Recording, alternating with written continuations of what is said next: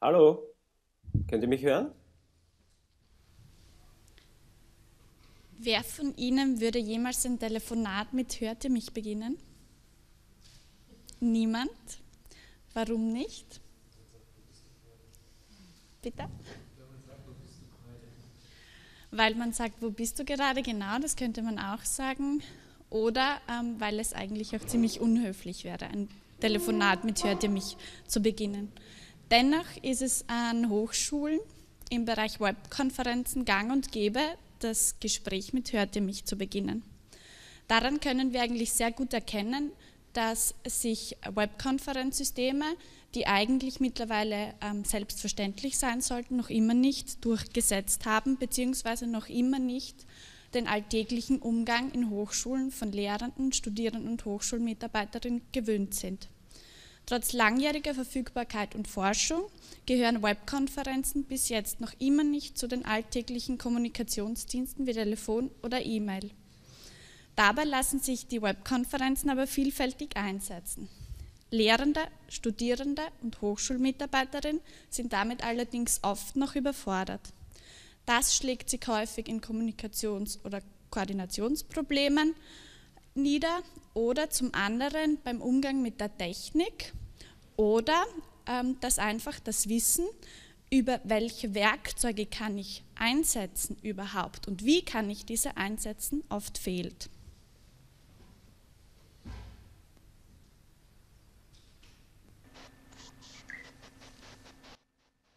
Ja, schönen guten Abend.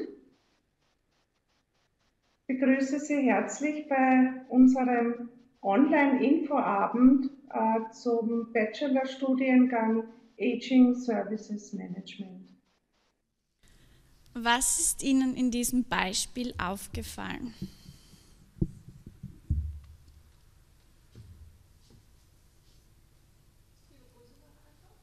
Genau, ähm, Sie haben ein sehr wichtiges Stichwort gesagt, und zwar die Begrüßung. Ähm, die Personen haben sich nicht vorgestellt. Wir haben uns vorhin auch nicht vorgestellt. Warum nicht? Wir wurden vorgestellt. Aber das ist ein Beispiel, das sehr häufig vorkommt. Ähm, und was ich wieder zum Anfang zurückgehen möchte, mit hört ihr mich sehr oft beginnt. Ähm, basierend auf Tipps und Erfahrungen an der Ferdinand, Ferdinand Porsche Fernfachhochschule, die mittlerweile in Wiener Neustadt ist, haben wir ähm, heute hier für Sie eine Checkliste aufgestellt, ähm, die sich mit dem Titel Webkonferenzen gekonnt abzuhalten, ähm, die den Titel trägt, Webkonferenzen gekonnt abzuhalten und eine Schritt-für-Schritt-Anleitung für Lehrende, Studierende oder auch Hochschulmitarbeiterinnen, die Webkonferenzsysteme einsetzen für die Kommunikation oder Koordination, virtuelles Arbeiten, ähm, einfach abbildet. In dieser Checkliste finden Sie einerseits erste Anhaltspunkte, worauf zu achten ist bei einer gekonnten Webkonferenz, aber andererseits auch genau die Punkte, auf die speziell zu achten sind. Die, Web, äh, die Checkliste für die Webkonferenz können Sie auf der Webseite Dani, runterladen. Wie das aussieht, zeige ich Ihnen kurz. Von der Struktur her die Punkte sind chronologisch geordnet. Ganz rechts sehen Sie immer, in welche Gruppe das hineinfällt. Da haben wir drei ausgewählt, Kommunikation, Technik oder Didaktik. Also das zieht sich durch in der ganzen Checkliste. Sie sehen das schon. Und ganz unten finden Sie dann noch einen Punkt, zum Thema Troubleshooting. Was kann man machen bei Problemen mit Audio und Video? Diese Checkliste, die ist sehr lange und aus Zeitgründen haben wir leider nicht die Möglichkeit, alle Punkte hier durchzugehen. Wir haben allerdings sechs Punkte ausgewählt, äh, die wir Ihnen nun gerne vorstellen möchten.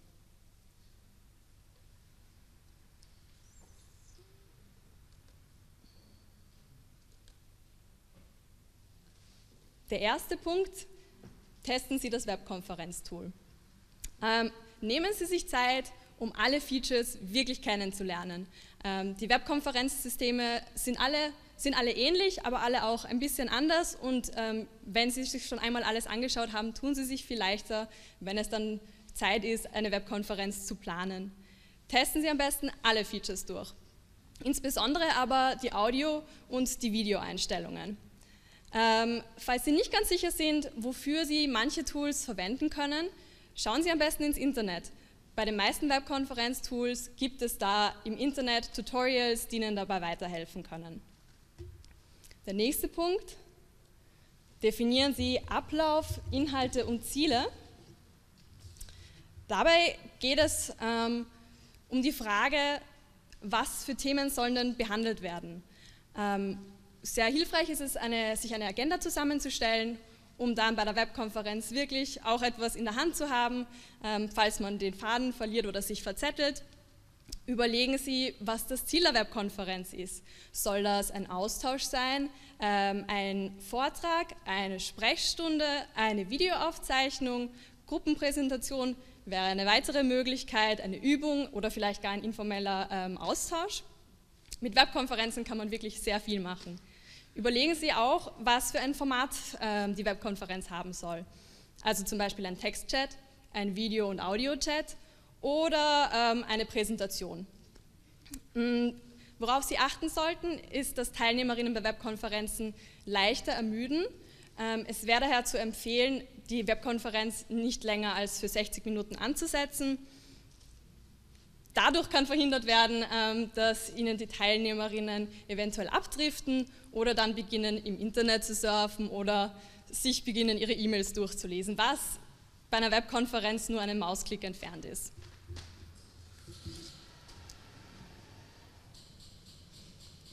Ebenfalls wichtig ist es, das Level der Interaktivität festzulegen.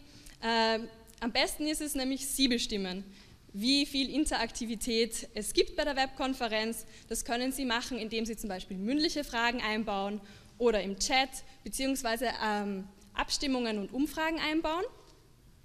Die können Sie sowohl zu inhaltlichen Themen ähm, stellen, beziehungsweise auch einfach nur, um eine Rückmeldung zu erhalten, ob die Teilnehmerinnen Ihnen folgen können, beziehungsweise äh, ob Ihnen das Meeting gefällt, ob das auch alles passt für Sie. Ähm, interaktive Elemente, nur ein Tipp von unserer Seite, ähm, sind gut, wenn es da äh, alle zehn Minuten welche gibt, einfach damit die Studierenden am Ball bleiben ähm, und wieder irgendwas tun müssen, weil dann sind sie auf jeden Fall wieder da.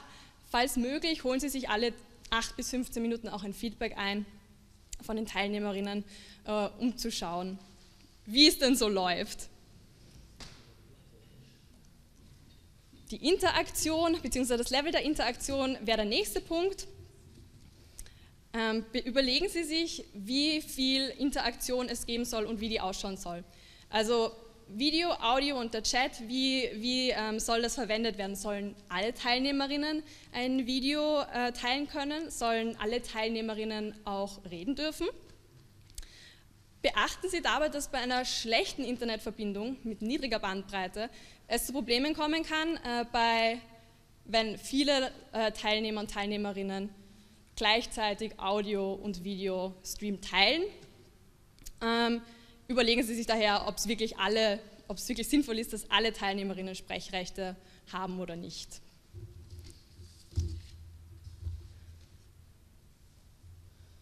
Wenn es dann soweit ist, begrüßen Sie die Teilnehmerinnen der, der Webkonferenzen. Denn nichts ist ähm, irritierender, als in einen Webkonferenzraum einzusteigen, wo Stille herrscht, ein Schweigen, keiner sagt etwas, bis um Punkt, wann auch immer die äh, Webkonferenz losgehen soll. Ähm, eine, eine, Möglichkeit wäre zum Beispiel in den Chat einfach hineinzuschreiben, hallo, herzlich willkommen, in wenigen Minuten geht es los. Ähm, damit wissen die, die, die, Teilnehmer und Teilnehmerinnen dann zumindest schon mal, okay, ich bin hier richtig, das, das passt und sicher geht es auch bald los. Wenn das Teilnehmerinnen ähm, sind, die sich noch nicht kennen, empfiehlt es sich, eine kurze Vorstellungsrunde zu machen. Am besten in der Reihenfolge der Teilnehmerinnenliste, also von oben nach unten. So könnte man zum Beispiel auch gleich testen, ob auch wirklich bei allen Audio, das Audio funktioniert, ob alle einander hören können oder nicht. Ähm, auf lange Vorstellungsrunden ist es besser zu verzichten und ähm, es ist besser, da gleich ins Thema einzusteigen. Was wir da empfehlen, sind sogenannte Icebreaker. Die sollen mit dem Thema per se nichts zu tun haben. Das wären so Sachen wie, wo kommen Sie her? Was sehen Sie, wenn Sie aus dem Fenster sehen? Äh, wie ist das Wetter gerade bei Ihnen? Also klassischer Smalltalk, um einfach das Eis zu brechen und diese initiale Beklommenheit äh, ein bisschen dem gegen, gegenzuwirken. Was auch sehr wichtig ist, sind Kommunikationsregeln. Worum geht es dabei? Ähm, da geht es darum, wie miteinander kommuniziert werden will. Und da ist es sehr wichtig, das am besten gleich am Anfang der Webkonferenz festzulegen. Ähm, also gleich zu sagen, so, so werden wir hier miteinander kommuniziert, äh, kommunizieren. Ähm, wie werden zum Beispiel Fragen gestellt oder wie soll der Chat verwendet werden? Wird er nur, äh, kann man sich jederzeit zu Wort melden oder äh, was für Dinge sind nicht okay? Also wie wollen wir nicht miteinander kommunizieren? Und ähm, was auch sehr gut ist, eben da gleich festzulegen, zum Beispiel wenn man eine spezielle Vorliebe hat, zu sagen, okay, der Chat, den bitte nur für technische Probleme oder zum Sammeln von Fragen der Vortragenden oder als Ergänzung zum Vortrag, je nachdem, wie es für einen selber gut passt. Ähm, als Veranstalter, Veranstalterin ist es sehr, sehr wichtig, den Chat auch immer im Auge zu behalten, beziehungsweise gegebenenfalls diese Aufgabe an einen Moderator oder an eine Moderatorin abzugeben, damit auch keine Fragen untergehen, denn das führt oft zu Frustration.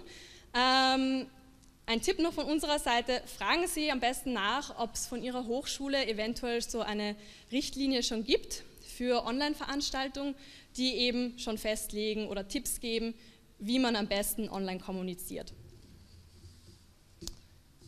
Ja, Dani? Jetzt haben Sie hier von uns ähm, so Kommunikation, also Regeln erhalten, ein paar Punkte erhalten, die mögen für Sie vermutlich selbstverständlich sein. Oder ich habe hier mitbekommen, dass sehr viele aus E-Learning-Abteilungen sind und ähm, für die ist das nichts Neues. Ähm, wir haben die Erfahrungen gemacht, für uns ist das auch nichts Neues. Wir haben gemeint, okay, es ist selbstverständlich, Teilnehmer zu begrüßen. Es ist selbstverständlich, dass wenn Teilnehmer in den Raum kommen, dass man nicht schweigt. Ähm, allerdings hat sich beim Umgang mit den Webkonferenz-Tools und ähm, bei dem, was wir bei unseren Lehrenden gesehen haben, gab es gerade immer wieder im Zuge der Nervosität immer wieder solche Dinge. Sie haben einfach zu begrüßen vergessen. Sie sind zum Teil, es gibt ein Beispiel, wo Lehrende eine halbe Stunde im Raum vorher sind, nicht sagen, warten, bis es beginnt. Also das, was Sie da jetzt alles gehört haben und was Sie auch in dieser Checkliste finden, das sind Dinge, ähm, die wir auch aus unserer äh, Erfahrung mit Ihnen teilen wollen. Ähm, und das sind mitunter Dinge, wo man der Meinung ist, dass sie selbstverständlich sind, aber die halt, wenn man nervös sind, vergessen werden. Ja, ähm, Sie haben jetzt auch gesehen, dass der Erfolg von Webkonferenzen auch nicht nur technischer Natur ist. Ähm, sehr oft wird gesagt, das ist doch alles nur die Technik, es ist die Technik. Nein, es sind mehrere Faktoren und dazu gehört auch die Kommunikation und die Didaktik, wie Sie bei den Punkten gesehen haben, die Ihnen meine Kollegin vorgestellt haben, hat. Und wie Sie in der Checkliste auch sehen werden, gibt es da ganz viele Dinge, die eigentlich auf Kommunikation oder auf die Didaktik basieren. Ja, noch bin, äh, befinden sich die meisten Hochschulen in einer frühen Phase, die Potenziale zu entdecken wir sind uns aber sicher, es wird nicht mehr lange dauern, da werden die Webkonferenzen äh, einfach ein Kommunikationsdienst sein wie Telefon oder E-Mail. Und deshalb wollen wir Ihnen ähm, jetzt auch ähm, noch ähm, zwei Handlungsempfehlungen, die wir aufgestellt haben, mitgeben. Und zwar, damit Sie sich darauf vorbereiten können, wenn es zu diesem Einsatz kommt hinsichtlich Fortschritt und Innovation ist es wichtig, nicht fortwährend nach weiteren neuen Einsatzszenarien zu suchen, sondern die gut funktionierenden zu Best Practices auszubauen. Dies ermöglicht Erfahrung zu sammeln und im eigenen Arbeitsumfeld einsetzen zu können. Ähm, also das ist was, was wir sehr oft gesehen haben. Es bietet sich wirklich an, äh, Dinge so ähm, zu perfektionieren, dass sie funktionieren. Und nicht sagen, wir probieren jetzt das aus, wir probieren noch das aus, wir probieren das aus. Ähm, ähm, wir empfehlen immer den Lehrenden, ähm, probieren Sie das mal so lange aus, bis sie sich sicher sind. Wenn das klappt, dann gehen wir weiter zum nächsten Schritt. Und wir sind damit eigentlich ähm, ganz gut bisher gefahren, wenn ich das so sagen darf. Ja, und es sollen technische sowie personelle Ressourcen geschaffen werden, die eine entsprechende Unterstützung für eine erfolgreiche Umsetzung von Webkonferenzen ermöglichen. Dadurch können innovative Konzepte erfolgreich realisiert werden und weitere Einsatzszenarien erkundet und für den eigenen Kontext übernommen werden. Ja, ähm, ich glaube, dazu haben wir in unserem Beitrag sehr viel gesagt. Ähm, wir sind jetzt hier mit, diesem, mit dieser letzten Handlungsempfehlung, mit dieser zweiten Handlungsempfehlung auch am Ende von unserem Beitrag angelangt und würden uns freuen, wenn Sie uns noch die eine oder andere Frage stellen. Danke.